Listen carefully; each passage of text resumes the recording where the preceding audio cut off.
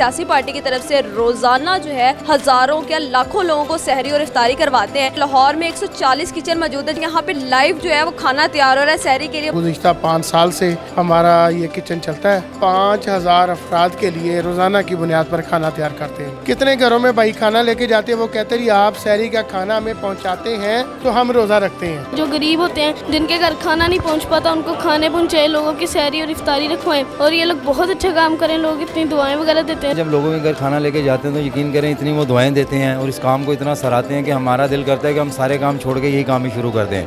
वालेकुम नाजिन आपकी मेज़बान तैयबा अवान और आप देख रहे हैं डेली पॉइंट। नाजिन जैसा कि आप जानते हैं, रमज़ानुल मुबारक का बाबरकत महीना है और ये वो महीना है जिसमें हम मुसलमानों हर शख्स ये चाहता है कि हम बहुत सी नेकियाँ कमाएँ और बहुत से सफ़ेद पोश लोग होते हैं जिनके घर सहरी के दस्तरखान भी खाली और इफ्तारी के दस्तरखान भी खाली मौजूद होते हैं। लेकिन इस टाइम हमारे साथ महबूब आलिम मौजूद हैं। अगर मैं आपको बताती चलूँ तो ये एक सियासी पार्टी की तरफ़ से रोज़ाना जो है हज़ारों क्या लाखों लोगों को सहरी और इफ्तारी करवाते हैं। और अगर हम इनके किचन की बात करें तो लाहौर में 140 किचन मौजूद है जिसमें से एक किचन में इस टाइम हम मौजूद हैं। और अगर हम बात करते हैं यहाँ पे लाइव जो है वो खाना तैयार हो रहा है सहरी के लिए। बाकी हम जानते हैं महबूब आलम से। असलाम वालेकुम अस्सलाम कैसे आप? अल्हम्दुलिल्लाह अल्हम्दुलिल्लाह। सर अगर हम यहाँ इस टाइम बात करते हैं कि आपके लाहौर में 140 किचन है 140 में से एक किचन में हम इस टाइम मौजूद हैं और यहाँ के मेन्यू क्या हैं सरी अ, बिस्मिल्लाहिर्रहमानिर्रहीम अल्लाह ताला का हम शुक्र अदा करते हैं जिसकी तौफीक के साथ अल्हम्दुलिल्लाह ये खैर का काम जारी है। तो अल्हम्दुलिल्लाह यहाँ पर जो किचन हमने शुरू किया है गुज्त पाँच साल से हमारा ये किचन चलता है। तो रोज़ाना की बुनियाद पे यहाँ पर मेन्यू अलग होता है और आज जो हमारा मेन्यू बड़ा ज़बरदस्त है, वो है सिरी पाए सिरी पाए का मेन्यू आज है। अगर हम बात करें तो यहाँ इस टाइम कितनी मकदार में खाना तैयार हो रहा है?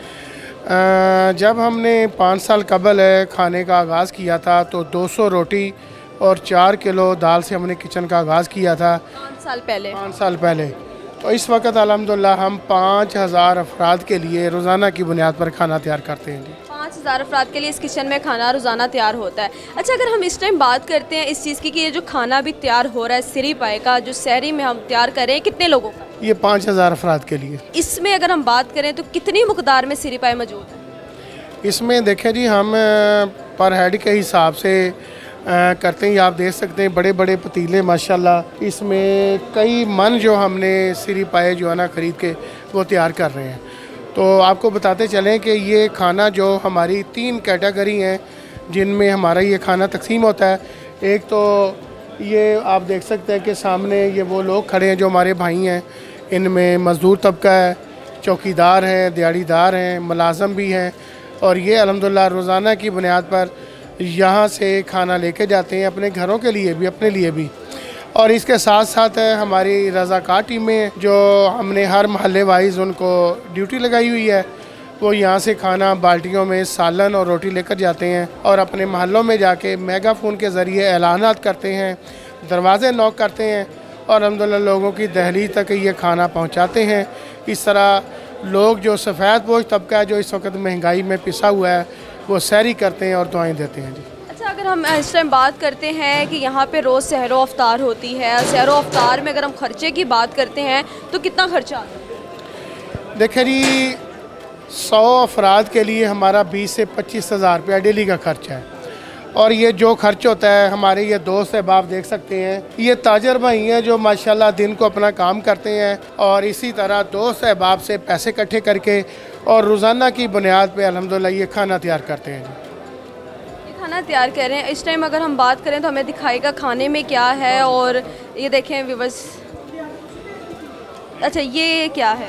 ये सिरी पाए हैं जी और इसके लिए वो तड़का लगाने के लिए वो मसाला तैयार हो रहा है। जो इंशाल्लाह इनके ऊपर डाला जाएगा ये खाना तैयारी के आखिरी मराइल में है। मतलब तैयार हो गया। और ये कब का रखा हुआ है? अगर हम बात करें सिरी पाई गले में बहुत ज़्यादा टाइम लगाते हैं। रोज़ाना अल्हम्दुलिल्लाह अफ्तारी लोगों को करवाने के बाद अफ्तारी के बाद ही शहरी के खाने की तैयारी का आगाज़ हो जाता है। और चूँकि ये जो सिरी पाए हैं इस पर गलने के लिए तैयारी के लिए बड़ा वक्त लगता है तो इसमें फिर हमारे जो भाई हैं शौक़ रखते हैं उनकी तादाद बढ़ जाती है। दिन के वक्त ही इनकी ख़रीदारी की गई थी और शाम के वक्त ही इसको पकाने का जो काम आगाज़ खाना भी पकाया किसने? है ये देखें जी हमारे इफ्तार साहब हैं वसीम अस्सलाम भाई हैं। वालेकुम। वालेकुम सलाम। कैसे हैं शुक्र अल्लाह का पाए बना रहे हैं बहुत मुश्किल काम है। अगर बिंगा गल मैं भी देखूँ तो अपने नॉर्मल भी घर में एक किलो भी बनाने हो तो सारा दिन वेस्ट हो जाता है।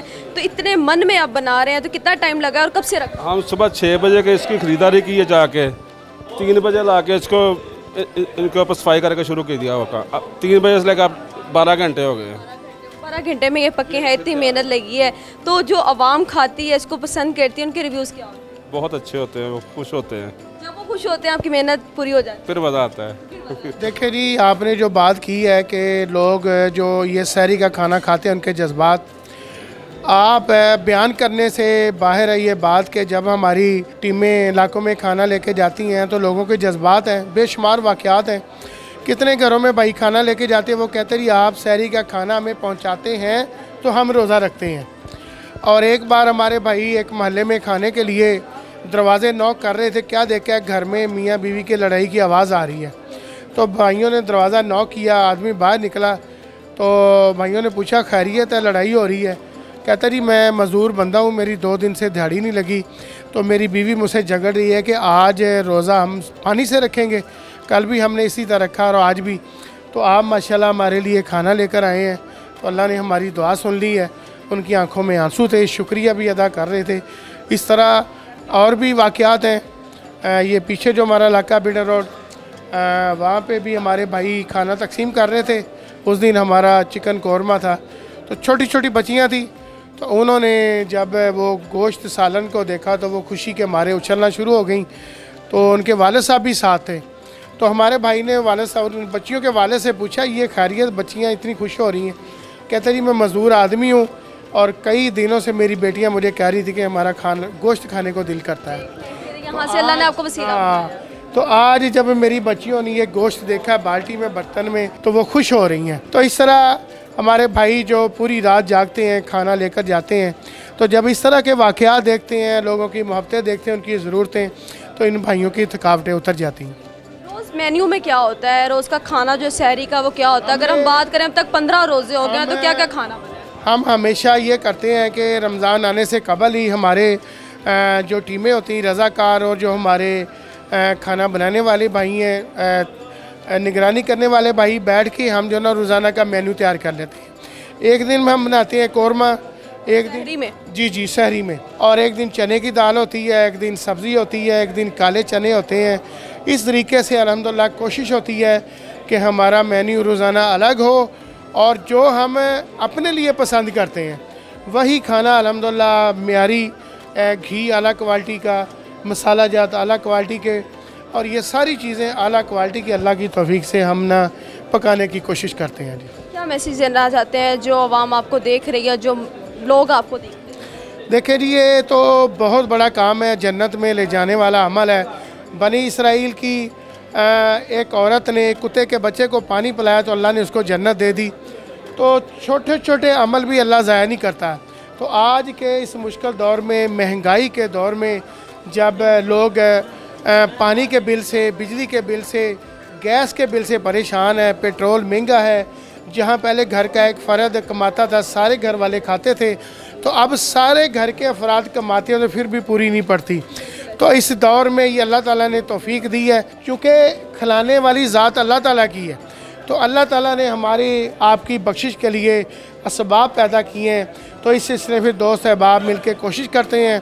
तो अल्हम्दुलिल्लाह वो खुशी देखने वाली होती है जब लोगों के घरों की दहलीज तक अल्हम्दुलिल्लाह रोज़ाना शहरी का खाना पहुँचता है वो खाते हैं और हमें दुआएँ देते हैं। ये हमारी टीम है जो लाइन में अलहमदिल्ला खड़ी है और ये भाई जाके इलाकों में बच्चा भी मौजूद है। जी तो ये हमारा नन्ना सिपाही है रज़ाकार है जो अपने वालद साहब के साथ गुज्त पाँच सालों से सारी रात जागता है इंतज़ार करता है यहाँ से खाना लेकर अपने अबू के साथ जाता है और जाके तकसीम करता है।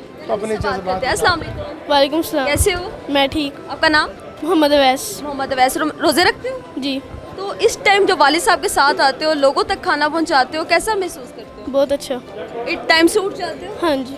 क्या फील करते हो कि अभी तो आपकी इतनी कम एज है और अपने वालिद साहब के साथ इस तरह आप आते हो लोगों तक सैरी पहुंचाते हो? आगे इस चीज़ को कहाँ देखना चाहते हो? आगे मैं सब लोगों के साथ यही देखना चाहता हूँ सब यही काम करें आवाम की दुआएँ लें जो गरीब होते हैं जिनके घर खाना नहीं पहुँच पाता उनको खाने पहुँचाए लोगों की सैरी और इफ्तारी रखवाएँ। और ये लोग बहुत अच्छा काम करें लोग इतनी दुआएँ वगैरह देते हैं रोज़ नई नई नई डिश बनती है कभी कोई कभी कोई। आज माशाल्लाह जिस तरह इन्होंने पाए बनाए हैं आगे छबूजी वगैरह इस तरह की जगह पर इनकी बहुत ज़्यादा जगह हैं।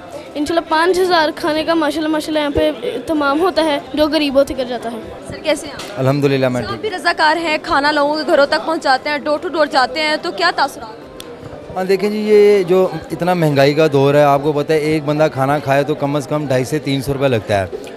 तो हम यकीन करें, जब लोगों के घर खाना लेके जाते हैं तो यकीन करें, इतनी वो दुआएँ देते हैं और इस काम को इतना सराहते हैं कि हमारा दिल करता है कि हम सारे काम छोड़ के यही काम ही शुरू कर दें। अनफॉर्चुनेटली हमारे हमारे मुल्क का सिस्टम ऐसा है कि ये स्टेट को जो जिम्मेदारियाँ निभानी चाहिए, वो अलहमदिल्ला हमारी जमात जो है ना, इसको पूरा कर रही है।